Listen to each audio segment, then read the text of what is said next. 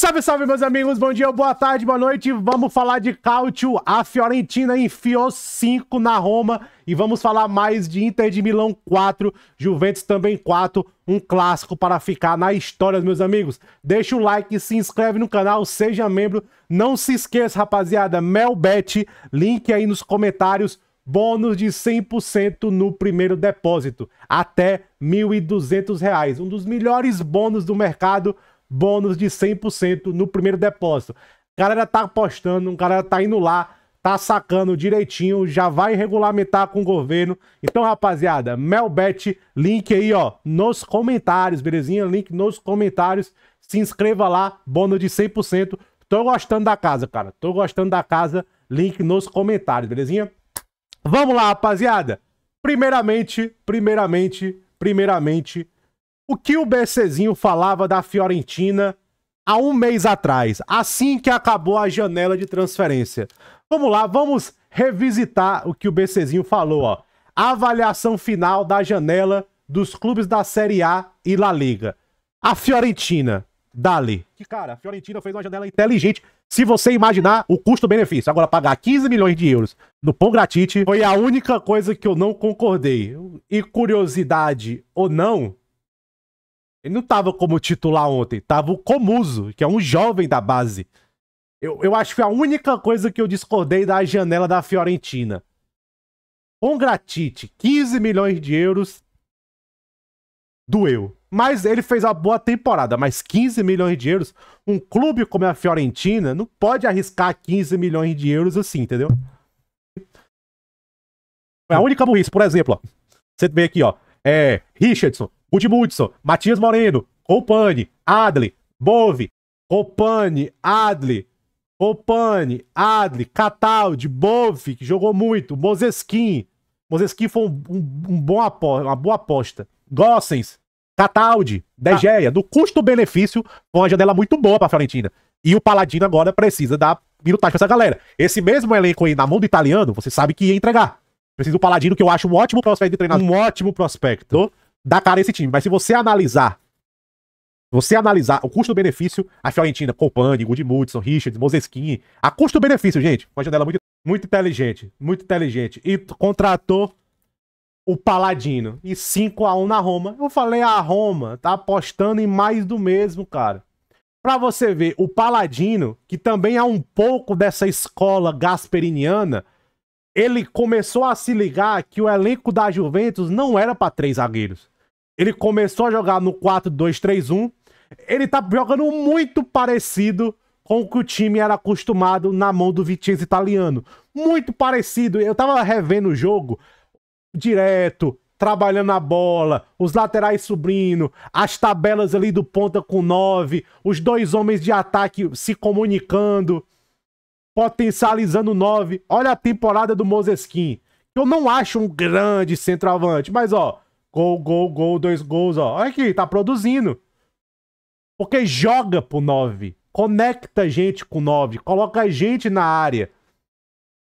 O time do Vicenzo italiano, temporada passada, tinha muita dificuldade de fazer gols. Mas trouxe Copani, uma pena mais o Gudmundson, se machucou mais o Gudmundson, traz gols. Mozesquinha é um cara que se você criar para ele pode produzir, apesar que eu não acho ele um cara de muito teto mas tá jogando para ele. E o Paladino é um treinador da escola gasperiniana que é um pouco mais flexível, ao contrário do Juric. Pior que, cara, que na notícia que fala lá, a Roma contrata o Juric, o Fabrício Romano coloca, eles vão apostar na escola do Gasperini. E o Gyurut, cara, é mais do mesmo. Ele não consegue, ele vai ter dificuldade de potencializar um Doibvik. Ele vai ter que colocar, ele vai ter que fazer o Pellegrini se sacrificar pro, pro, pro, pro.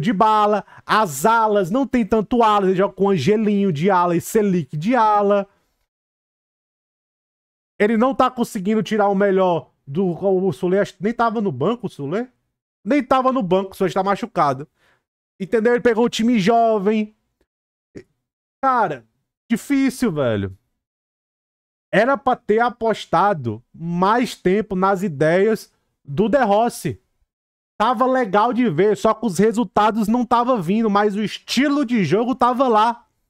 As ideias estavam lá, mas não. Quebraram para trazer um cara e tá tendo toda a treta aí com o CEO, por exemplo. O Bove é ex-Roma. Gol, assistência. O Bove é ex-Roma. E dizem que muito foi empurrado pela CEO do clube. O empresário, da, o empresário do Bove comentou lá na, no post da Roma, criticando a CEO da Roma. E é isso, a Fiorentina já tinha um material, mano. Fez uma janela muito clínica. Perdeu o Vitinho italiano, mas trouxe outra grande aposta que foi o Paladino. 5 a 1 na Roma. E vem numa sequência muito boa, ganhou do Milan. Tá indo muito bem na, na Conference. Material humano, mais treinador. Obviamente a expectativa não é G4. É, vai ser difícil manter a, a, a Fiorentina no G4. Mas a Fiorentina é um time que pode sim brigar aqui entre os oito. Brigar, ficar ao norte de competições europeias. Pode sim, belezinha? Rapaziada, vamos falar mais de Inter 4, Juventus 4. Essa matéria aqui do James Hornscastle é muito boa. Um Conceição injogável. Wildes merece a camisa 10 número a, merece a camisa 10 da Juventus. O Inzaghi, nós merecemos fazer 7 ou 8 gols, verdade? O Inzaghi, nós merecíamos fazer 7 ou 8 gols, verdade? E o grande vencedor foi o Conte, né, que dispara na liderança do Cáutio. Meus amigos, o Inzaghi falou, o Inzaghi falou que era para ter feito 7, 8 gols. Concordo com o Inzaghi, mas, mais, mais, mais, como na própria matéria fala, ó, de Gregório. Sem os reflexos do Di Gregório, o derby da Itália poderia ter ficado muito feio para o ex-interista, o treinador da Juventus, Thiago Mota. Sim, meus amigos, o Di Gregório manteve a Juventus no jogo o Di Gregório, porque a Juventus ela volta mal pro segundo tempo, a Inter volta melhor, faz o 4 a 2 cria chances, o Di Gregório faz duas ou três defesas imorais, aí a Juventus volta pro jogo.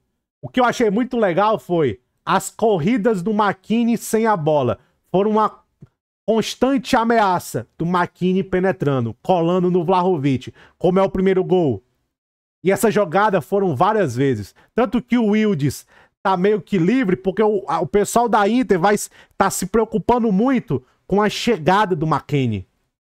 E realmente, ó, o McKennie, cara, tem sido aí jogando muito pela Juventus. E ele é uma ameaça, fez muita falta. O Thiago Mota errou contra o Stuttgart quando tirou ele. Errou. Errou quando tirou ele. Entendeu? Aí o McKennie falando, né, que o que eu acabei de experimentar, né? A, o jogo, né? A atmosfera. Aí o Inzaghi, cara, como isso foi acontecer? Todo mundo tava petrificado, né? E tudo mais. Aí ele falando que mereceu fazer 7 ou 8 gols. E. Ó. E criticado por não marcar gol suficiente, a Juventus sempre manteve a grande área com corpos, colando no Vlahovic, atacando. Quero falar duas coisas. Ildes e Inter de Milão. Primeiramente, o Ildes. Cadê? Aqui, ó. Ver se tem uma foto aqui do Ildes pra ficar bem grandão. O olha aqui. A comemoração do Del Piero.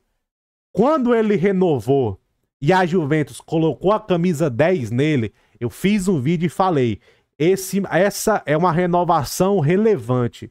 Porque é esse moleque que vai depender muito das esperanças de título da Juventus.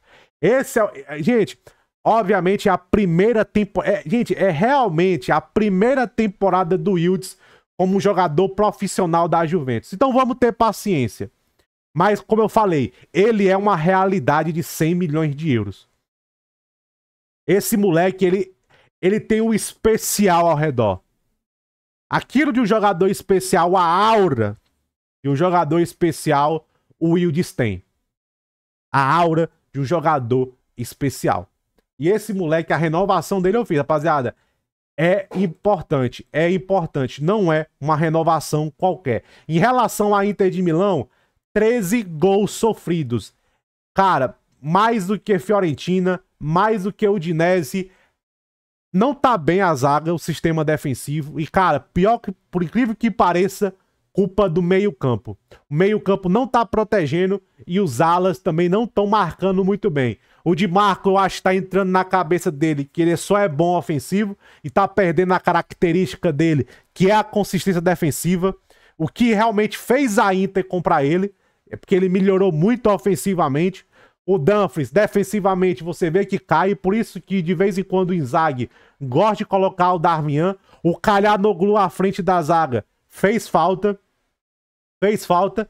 E foi uma Inter de Milão que, que raramente isso acontece, de perder pegada no meio-campo. Porque muitas coisas acontecem no meio-campo. E defensivamente, por exemplo, o Pavar não jogou bem, De Vrij começou o jogo muito bem, depois caiu. O Bastoni também não fez um jogo muito bom. Então é uma Inter que defensivamente ainda não se encontrou. Não se encontrou. Belezinha? Tamo junto.